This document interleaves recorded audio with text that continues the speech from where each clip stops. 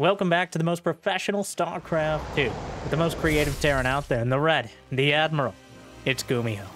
But up against a Zerg who can throw a few punches and take even more. The Rocky Zerg. We have Solar in the blue. A best of three TvZ starting things off on Crimson Court, and it looks like Gumiho looking to get out in front of things with a Reaper build to start, looking to mildly to moderately inconvenience the Zerg. So out of solidarity, I'll mildly to moderately inconvenience you by begging for likes, and if you haven't made it there yet, subscribe. It's even more trouble. Gimme, what are we? One 1,302 likes on this series, on this cast, and I'll cast another one. I'll probably do it anyways because I don't know what else I would do with my life. But thank you for watching. Hopefully you've had a good day so far and hopefully it's about to get just a little bit better. Crimson Court, the map that seems to keep making it through the veto process despite the strong feelings of Zerg players uh, and who aren't quite favoring it because of the the ridiculous amount of rocks and choke points here. But the Reapers getting caught at the back, and one of them caught and killed. And you will get a, a, a well, no, he didn't get a drone. No drones, loses a Reaper. And Gumiho, we actually built four in total. The three per build is more like an... It's usually the three to five Reaper build, but that doesn't really roll off the tongue. Uh, so the Queens will get a Reaper kill, and the Reapers get almost nothing in return. A few Zerglings. The Queens. Hmm. Feels good to stretch your legs, doesn't it, Susan? What? Uh, Reapers are back Speed is on the way. The third hatchery. There's no other options for a third hatch location here. Unless you're willing to mine through the triple thick mineral wall. And let's not even pretend we're going to mine through the uh, double thick rocks here. Four sets of rocks uh, on each of these choke points, adding up to 12 on either side. So the Zerglings get us around. Zerg... The Reaper's just far out of position here. The Queens it looks like the last one. Where are you? I guess there's no jump down there. Yeah, well, a surprisingly easy cleanup for those for those early Reapers. Gumiho far overstaying his welcome. Um, yeah, Marines behind. The stim pack will be perfectly protected. And now Solar in a pretty comfortable position. He's already got 46 drones. He's got that third base uh, almost up and running. Gumiho does have three command centers. He's going for Marines and Stim, and they, they ByuN whisper in his ear and say, just, just only Marines, bro. Okay, it'll work. Just trust me, bro. You just need to micro... Put the needle down, ByuN. The engineering bay is a little bit quicker here for Gumiho. And with that third orbital command, you can kind of shore up your your economy. Uh, uh, the mule's providing a, a, bit of extra boost over the top, making up for the Terran's less explosive uh, worker production. But at the same time, Gumiho just now taking his third. So we're comfortably at 55 drones here. Should be starting a lair momentarily. Yep. So has everything he needs, and he just scouted the mass marines. It was already go. He already knew it was going to be marines. He saw the the barracks at the front, the stim on the way. It was a matter of how many barracks and how quick are the medevacs. So Solar has 26 Lings on the field. He's got eight brave and beautiful queens. Um, and Gumiho gonna unload the marines over on the right lane of the map, and lane indeed. As until these minerals are mined through, which Solar has actually done, and you may regret that, but having any way to close the distance is going to be important. Gumiho loads up again. I guess it was just a, a restroom break there for the Marines, which doesn't really make sense on so many levels. Moving on. Combat shield nearly done, but that little mineral wall may actually work out for Gumiho here as he stutter steps back. The Queens, well, are closing in on the medevacs. The Marines are holding their ground, though. One medevac goes down, but the Marines were able to trade out beautifully. Solar leaving any sort of choke point in those minerals. Maybe want to consider being a bit more thorough in the future when it comes to mining out the mineral wall. It is a bit annoying to do, but those Marines having a field day, gunning down 41 Zerg. I guess the Reaper's got five or six, but for just eight Marines and a medevac, that's a lot of larva at a time Solar sorely needs it. He's building another round. He's at 69 drones, which is nice enough for a mid-game economy. Um, but as he gets a fourth base up, wants to add on a few more. Gumiho back at home.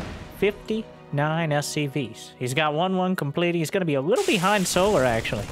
Oh, don't expect one of us in the wreckage, brother. Nope. Come. Okay. Well. All right, then. I guess this is what we're doing. So we're not going to waste the Banelings on a single Marine. Gumiho clearing up the mid lane. The bot lane right now. Uh, opening up as the drones trying to finish what they started. Targets down the creep tumors, but slithers around and slurps up the Marines, and there's no better way to describe what we just saw there. I think I stand by that. Gumiho pushing forward. You gotta be very careful as a Zerg, not to get overconfident. You cannot underestimate. ByuN is right. The ghost of ByuN, which is not a real ghost because we know he doesn't build those most of the time. At least recently. Uh, Marines can be the most effective units in the game. But, uh, of course, Banelings and an overwhelming amount of Hydras and Zerglings have something to say about it as well. The Queen's a little bit in an awkward position, but Gumiho has more army supply here. Tanks on the low ground. High ground vision with the medevacs means the tanks can slam the point home into the Queen. And the Queen, Brenda, where are you going? This is a terrible idea. They can shoot up. And, uh, kind of. Hydraslings and Banes crashing through.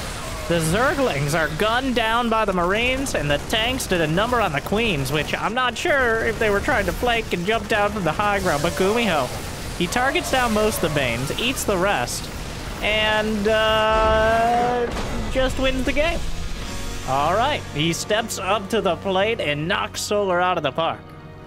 Well, a surprisingly decisive end. I think Solar got a little bit greedy um, and underestimated the power of that position with the siege tanks there. Historically, yes, Jimmy, we're trying out a new stats screen here. Um, Jimmy knows I'm not good with the numbers, so uh, we're going to try to keep it updated. But overall, Solar's gotten the better of Gumiho.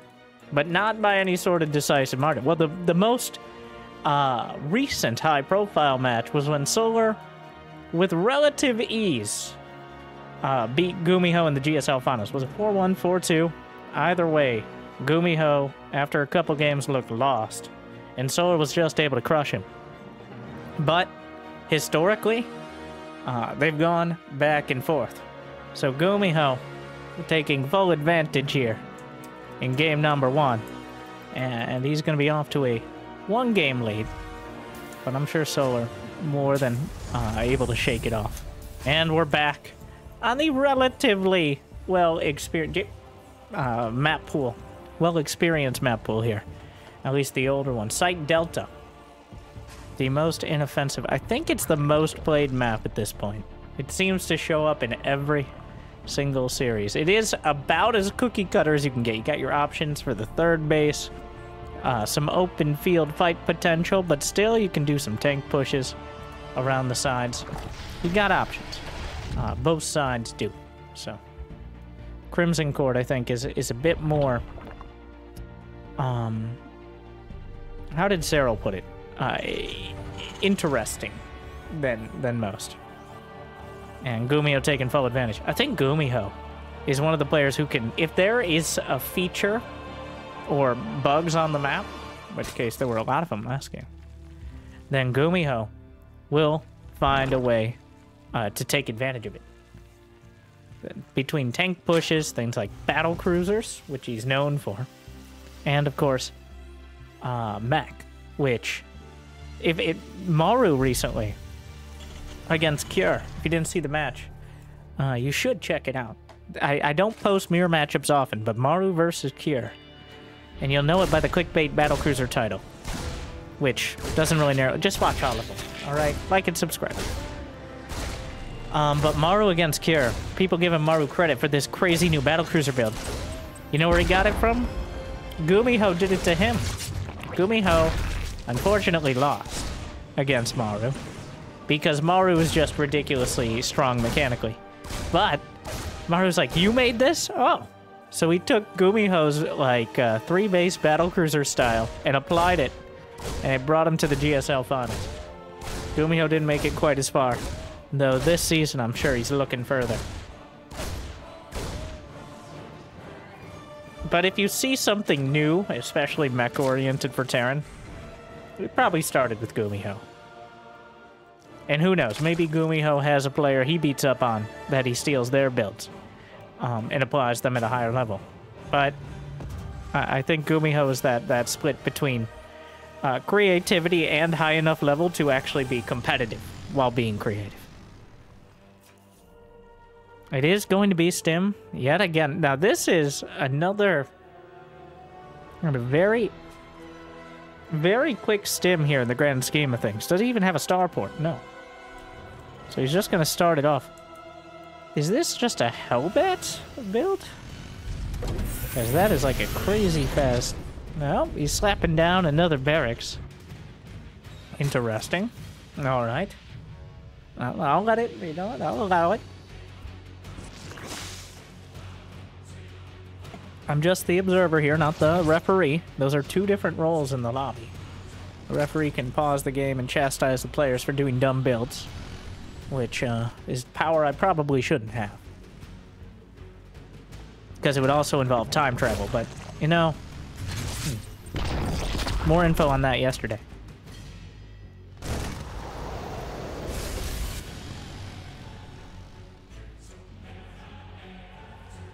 Stim pack, a single medevac on the way. So this is kind of a bare bones, stripped down, early marine Hellion timing.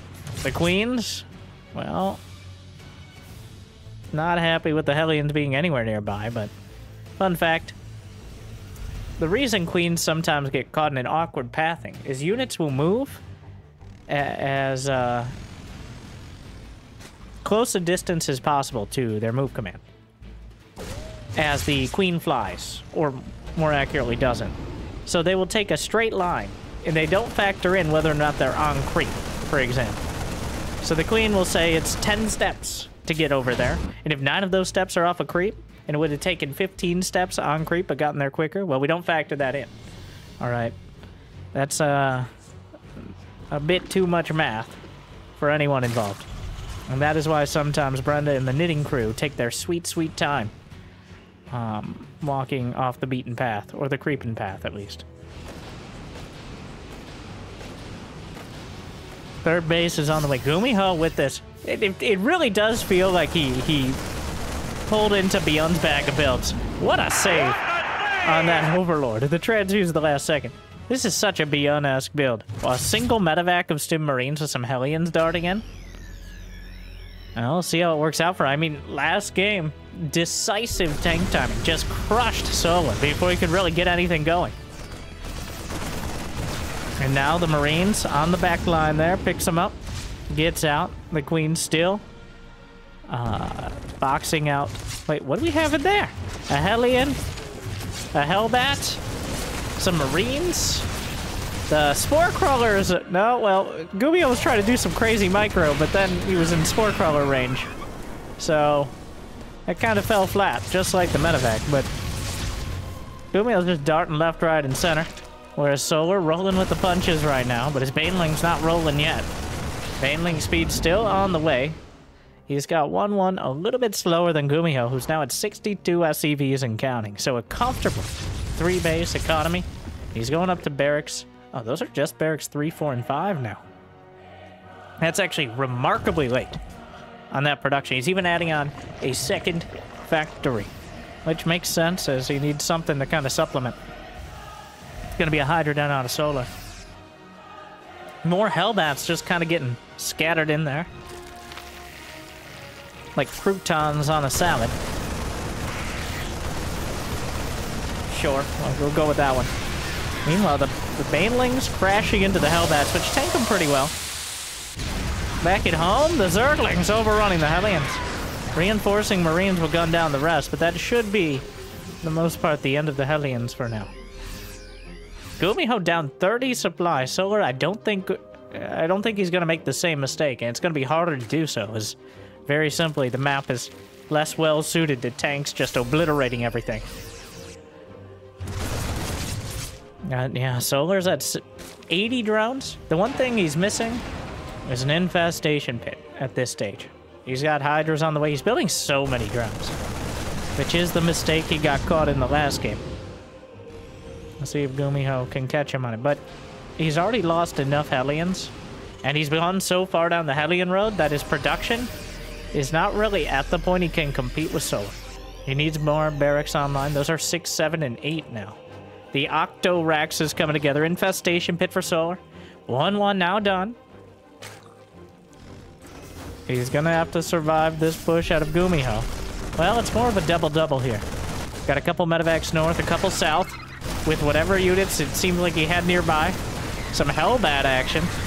The Queens targeting the medevacs, half HP. Doesn't have any queens to the south at the moment. Gumiho clearing up the creep, but there's so much of it, he's not actually able to finish it off. Gotta be careful with the Hydras out there. More Hellions. He just keeps building Hellions. What the Hellions?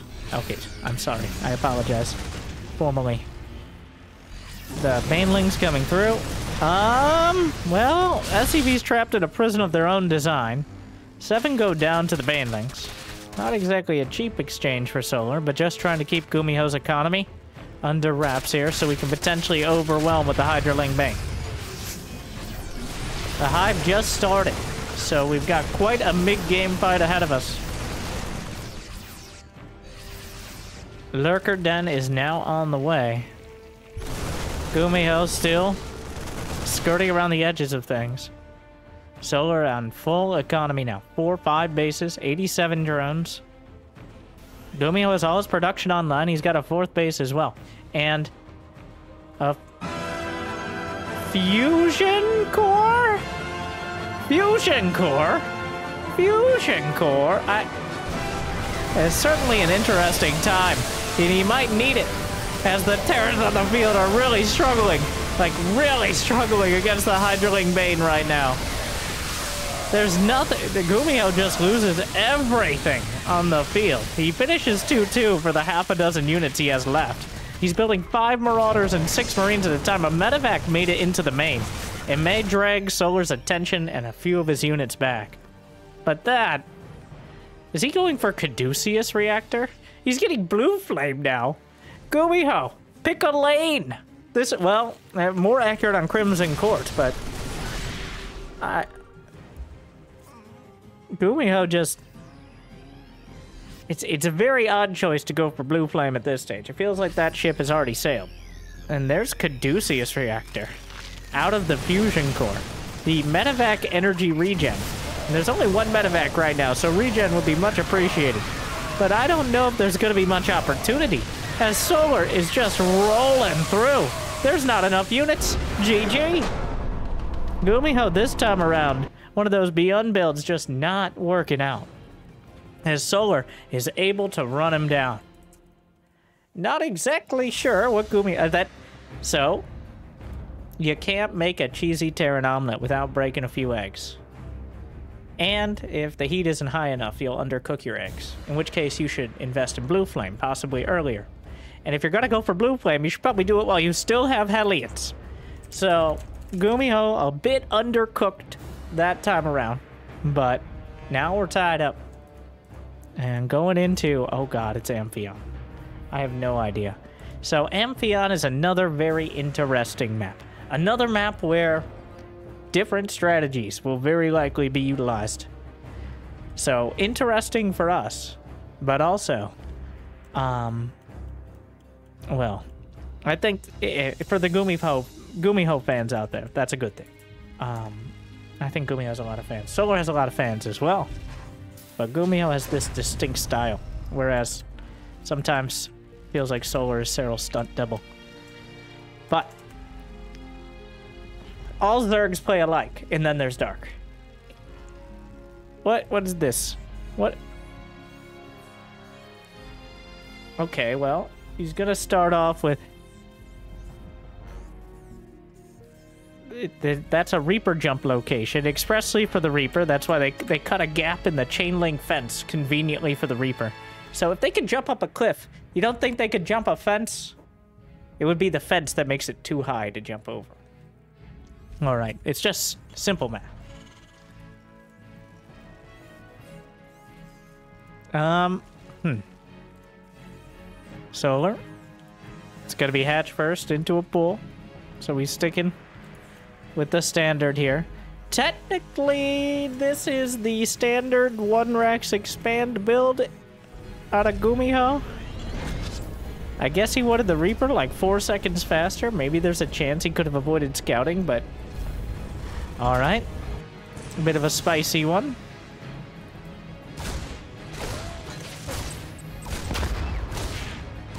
Gumiho.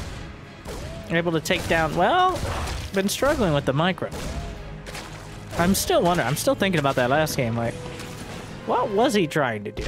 It feels like Hellbat Marine as like a main composition, but it didn't. All the pieces were still not really fitted into the puzzle there. By the time Solar just came ac across and punched him in the face, so we'll see if this time he tries another kind of awkward bio play.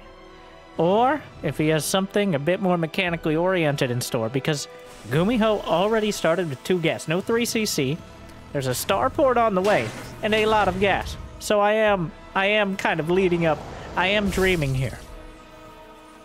But if there was ever a map for it, the moment the starport finishes, he sends out an SCV to the corner and he builds the fusion core. And there are no other options. This will be for battle cruisers. Well, at least one, but possibly more than one. He calls in the fleet the Admiral when it matters most.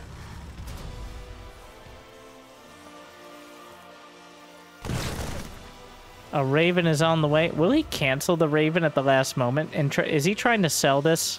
to Solar. Because right now, Solar's coming in with the Ovi. There's a conspicuous two Marines in position. He, he canceled the Raven, and he's going to start the battle cruiser. It will see the Tech Lab starport, not building anything, which doesn't... I mean, even... Unless you see the fusion core. It's impossible to tell whether or not it's a battle cruiser for sure, but...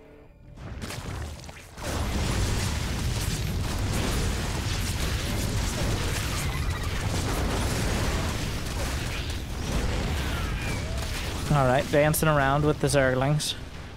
More queens on the way. Really, the... While the knitting needles are not particularly well suited to taking down the flying, teleporting laser bathtubs, they are still the best option for just an anti-air buffer. As Zerg very simply has no other anti-air units. Hydras, if you get a lair and spend 50 gas apiece for a unit that is easily outmaneuvered. Aspire, even more expensive.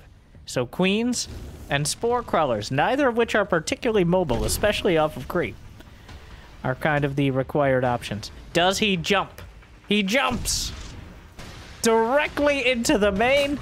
Wow, Solar called the bluff, but it wasn't a bluff at all. He doesn't even have a spore crawler done. Oh no, this could be absolutely disastrous. And here come the Hellions. Brenda, split up. Susan, split up. Take your team, go right. Lucille, go left. And everybody panic. We're all panicking. Don't, Brenda, don't, don't panic. Ah! Hmm, is what I assume that most queens feel. Oh my god, it's an absolute and utter disaster. 18 drones being incinerated and counting between the battle cruiser and the Hellions. The Hellions will get taken out, pushed into the sea here, but I see a disastrous situation.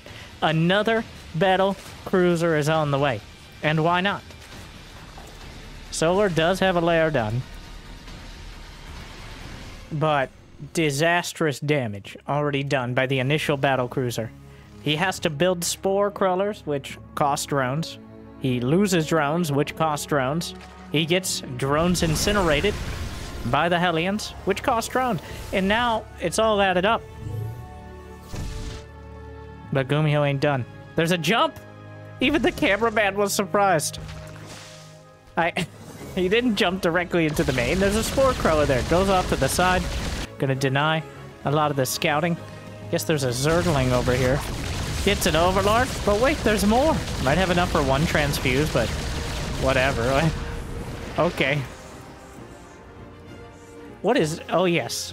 Uh, we changed it to Hurricane engines or something. That is the Cyclone speed upgrade. Uh, so, does he have any Cyclones? Not yet. But this time around, Gumiho, I think, has the space. Jumps home to the shipyard. Well, to the repair yard, where the SCVs can repair it. Chad, why, why can we repair air units, but not attack them? We've been. All. This is, it's above your pay grade, Billy. Shut. Just shut up and repair it. I hate contractors.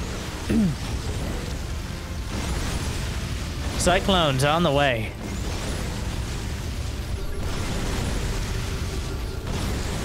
And Yamato Cannon is the choice from Gumiho. So investing even more in the cruisers, he's gonna have two of them, but the Yamato cannon is just constant value. Can easily want. Was that a Zergling? I, I assume so. I assume he wasn't just shooting at his own SCVs to, for target practice. Yamato cannon online. Gumiho, bring us around. Fire the cannon. There's a quick 180 into tactical jump, the no blink. Uh, the no look blink. Back home.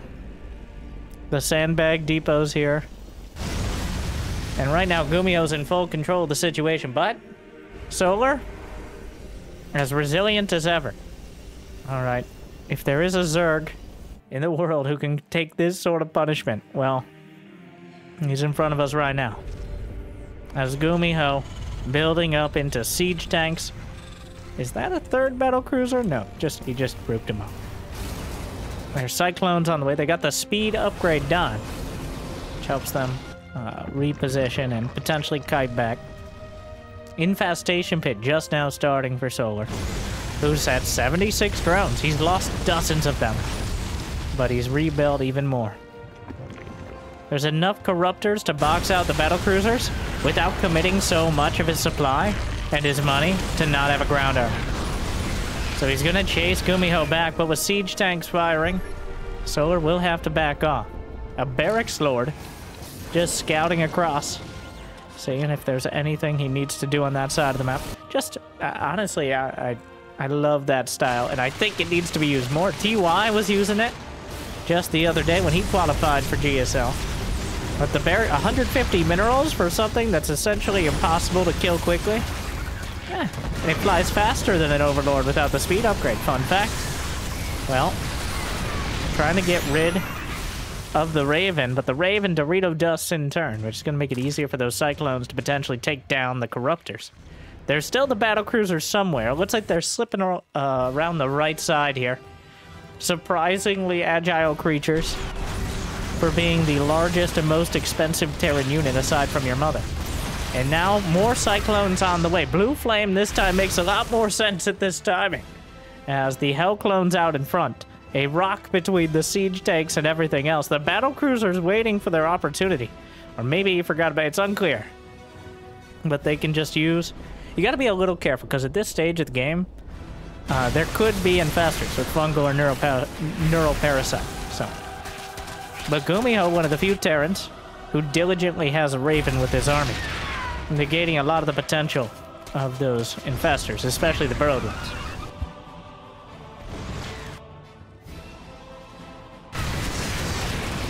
And, oh, the siege tanks the queens as well, but...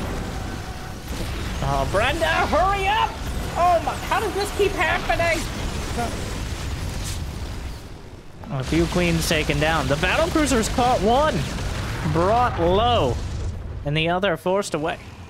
But keeping the Corruptors busy, and while battle cruisers remain, Solar is going to be reluctant to commit to too many Broodlords. He's got the Greater Spire on the way. There's already Thors in production, plenty of Cyclones, and even Vikings also being added on. Anti-armor missile gonna help out. Sprays the corrosive bile across the board. The Corruptors may finally find that Raven. They'll get it, but it may cost them a couple. There's still the one battle cruiser. Three more command centers on the way for Gumiho.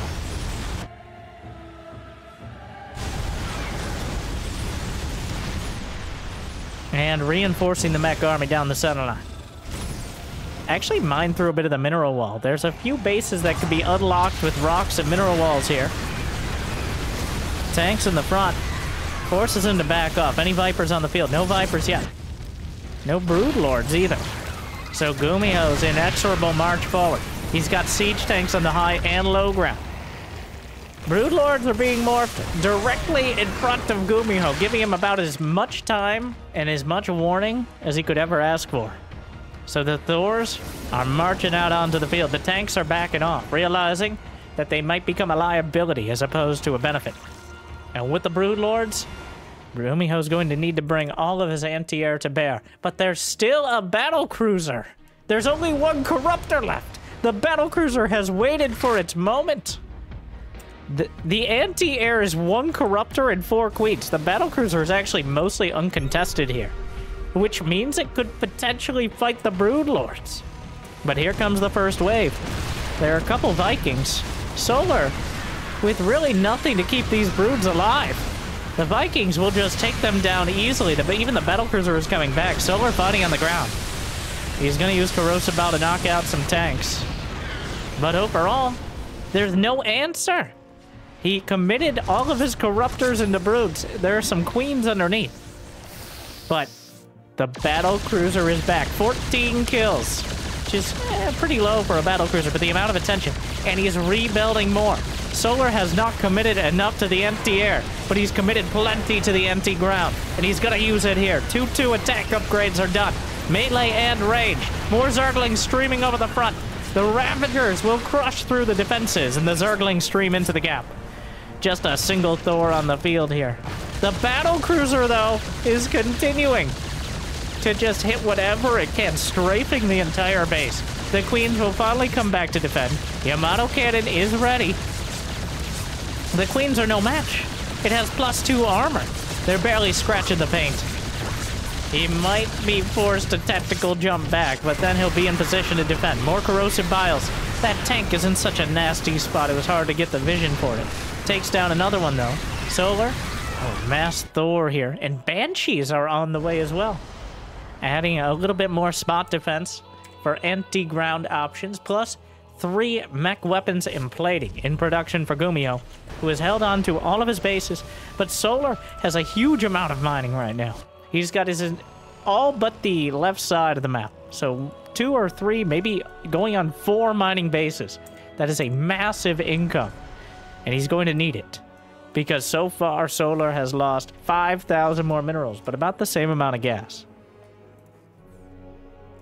More battle cruisers on the way. It's up to Solar to figure out how to break Gumiho here. As Gumiho is clearly more cost effective. He's got the box art units. Thor battle cruiser composition.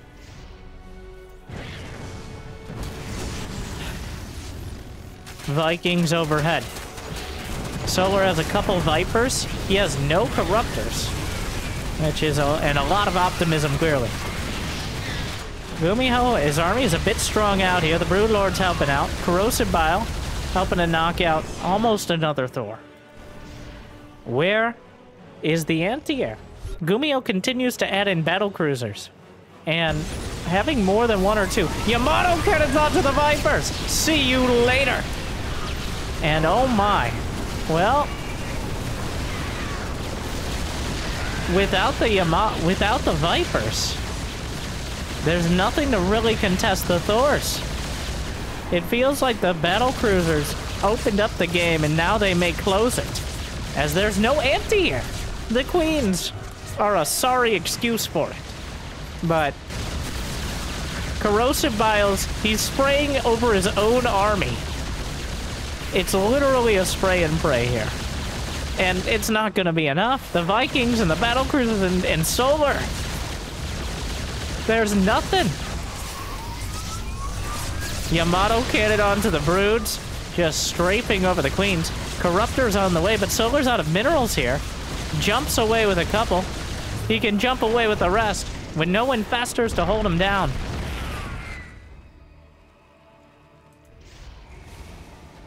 What's left? Nine more corruptors in production. Gumiho has seven orbitals.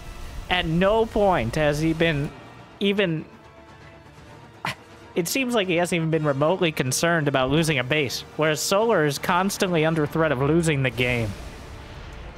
It is seven Thors and six battle cruisers. That is a cinematic box art composition right there. This is not a real army. This is Bronze League heroes. But here we are, Gumiho getting revenge for the GSL finals. I don't think Solar can stop this. The battle cruisers are operational. The Thors are in position. The Yamato cannon's online. The anti-air getting knocked out of the sky. And that's it. Gumiho, with a clear and decisive victory, charts a course across the map and claims it. And honestly, it looked like Solar was just absolutely lost on how to deal with it. It's such, like, he looked for the battlecruiser, but Gumiho was so decisive in building them. It was a two-base battlecruiser build. He didn't go for the third command center. He got the second gas. And yes, we have more Gumi games.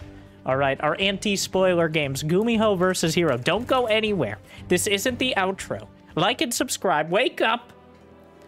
Hopefully that game woke you up a little. I, I wasn't sure if Gumiho would commit to anything or if he, we were just going to see uh, uh, Beyond Fangirl builds, but uh, I'm happy we saw a true Gumiho, Gumiho build there. I'm still interested on that Site Delta game, though. What was he trying to accomplish? Because it was clearly something a little bit different, but still something interesting. Just like I think this game of Gumiho versus Hero. All I know is Banshees, okay? I, I don't like to spoil myself but I usually check if there's an interesting unit or something that gets built that always doesn't always get built. And this one has Banshees. Spoilers. There we are. Oceanborn is the map we find ourselves on. Oh, and don't forget to smile. Changing gears just a little bit into Terran versus Protoss. But I think we can spend, with no proxies here, a bit of time. He command... I don't even know.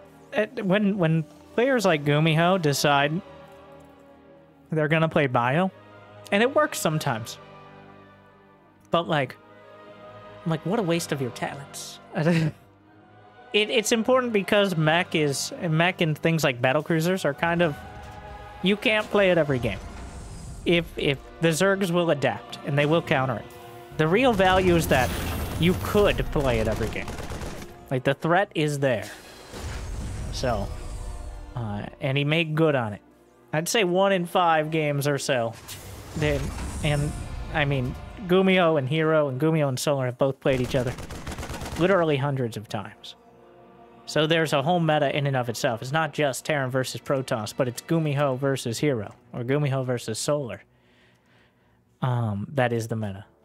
There's and then Dark versus everyone is also one of the uh, most common ones. But Gumiho with a full-on one-base tank push here. I'm always looking, this matchup especially, I'm looking for any sort of innovation. Unfortunately, not literally INnoVation, who seems to have um, essentially retired. I don't know if he's officially announced it, but uh, he hasn't managed to qualify for GSL. And really, there aren't too many other tournaments in Korea. Unless you're playing in the weeklies, so. Alright, here we go. It's going to be Phoenixes against a tank push. Right now, Hero has three Stalkers and one Phoenix. He's slapping down He's slapping down shield batteries. But, well, is there a Reaper wall? Which Gumiho I think, is looking to take advantage of. The SC, the Tactive Boys to repair! Gumiho! Like, can he just... Yeah, he's just gonna hold the tank. He's targeting shield batteries. There is a backup battery there. Shield battery overcharge required here. He's boxing out, but the medevacs and the SCVs are helping out on both fronts. Picks up the tank, but the SCVs are repairing in the air, which brings us back to the physical improbability of that. Another tank coming in. Um, none of these look like Banshees, but they do look incredibly interesting as Gumiho. The probes are pulled and Oracle shows up. The Viking is on the ground, so it doesn't help out with the anti-air. He takes it out. The Viking, well, the medevac is taking a lot of damage, but it's not dying. The Viking back in the sky. And Gumiho's repair. 12 probes down. Remember, behind this, there, Gumiho does not have a command center. He does not have a follow-up at all. So he needs to do critical damage. If he kills this Nexus, he's already killed enough probes. If he kills this Nexus, he may have a good shot. Poke it forward, pick it up, juggling with the tanks, puts it right back down just to retarget, I think. And picks up another tank. The medevac may go down. The SCVs were a bit distracted, and that could cost him. As the energy, but the SCVs are pulled. Oh, there's the Banshee. Don't, I don't know how it came to this. Wow. I Hero is down to seven probes. There's a Viking on the ground. Are, is there enough? Can he lift the Viking? No, he's gonna lift the tank down here. The Zealot is facing. He's killed the SCVs. Cloak is on the way. And there's no real counter. Hero is down to 8 probes, but Gumiho has no units. He has 20 SCVs. He's building Cyclones.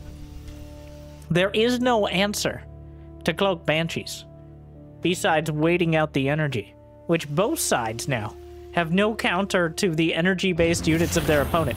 That is still, any amount of Phoenixes is too many. Did he just not bother with a Cyclone? Where is the Cyclone?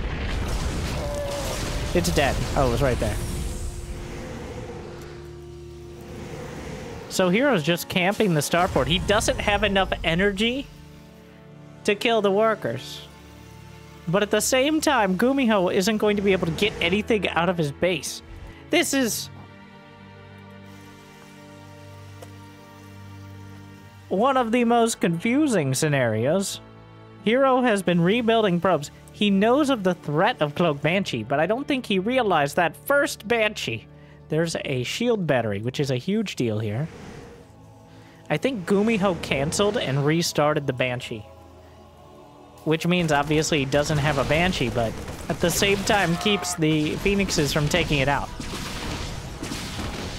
Will Gumiho try to go through the shield battery? It will run out of energy. It's actually a little out of position because of Hero's Pylon. He's actually just going to target the shield battery.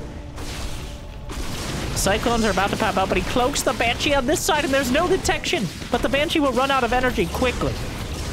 Hero can lift the Cyclone. Probes are being slaughtered again. He recalls the Phoenix's home. There's no detection here. He kills a Stalker. Can... Um, okay. So he recalls the Phoenix's home. Kills the Banshee. Now Gumiho... Oh my god, how did he finish a command center? During all of this, how did he manage to actually finish a command center? The, the phoenixes are fanning out across the map, trying to hunt down banshees. I think they're about to find one.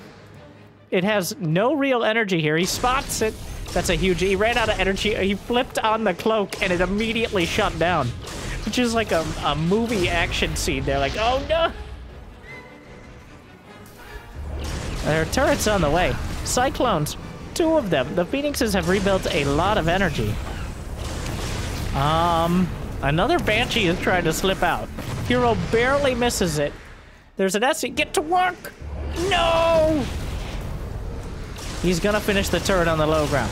None of these you well, I guess technically the Oracle could kill turrets, but good luck. He kills another Phoenix. This turret will finish and actually kind of outfl Hero is up to 22 workers, but another Banshee has slipped across. Does Hero still have his Oracle? Yes. It's at 26. He has enough energy for Revelation. But a Banshee comes in again. Oh no. What a disaster piece of a game. And the the battery's depowered. Oh no. Hero. As soon as the battery's repowered, he's gonna have to do something different here, but just trying to buy as much time as possible. But still, well, Gumiho has the expansion. There's the revelation. The Phoenixes have to come back yet again. The Banshees are paying for themselves. Many times over. Hero, though, he, he's lost 41 probes in nine and a half minutes. Gumiho's tank push, which I think was designed to take advantage of the Reaper wall. I appreciate that, by the way. I always think the Reaper wall is a bit of a liability as opposed to a benefit. Like, you wall off one unit and you have your entire, uh, like, like a third of your infrastructure exposed? I don't think so. Anyways. Gumiho is a bunker. Hero gonna try to break him.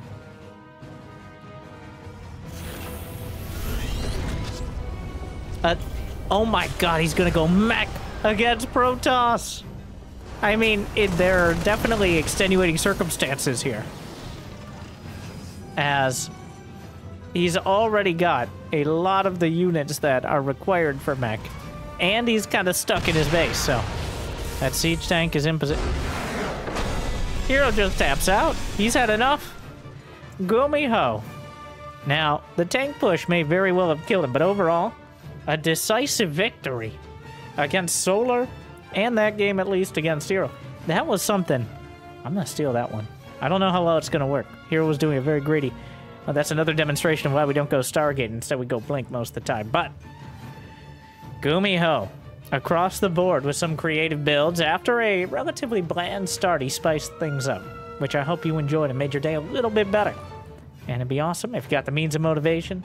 Check out Patreon or YouTube membership, but I hear liking and subscribing is still free for now. Uh, and if you haven't yet checked out the second channel, Winter Gaming TV for streams, we got some of the uh, guide streams and stuff, which um, I, I, found they work better in stream form than they do as uh, one-off YouTube videos. Because I mean, I'm just watching the pros nowadays, right? Yeah, totally winter. I'm gonna play three hours a day, and I'm gonna get moving on. Go check it out with Sale. Uh, otherwise, okay, we got sidetracked there. But thank you for watching. Ooh, I have a banshee on my shirt. Oh my god. Okay, Jimmy, cut it off. See you next time. Good luck. Have fun. Stay chill. Just, just edit it out.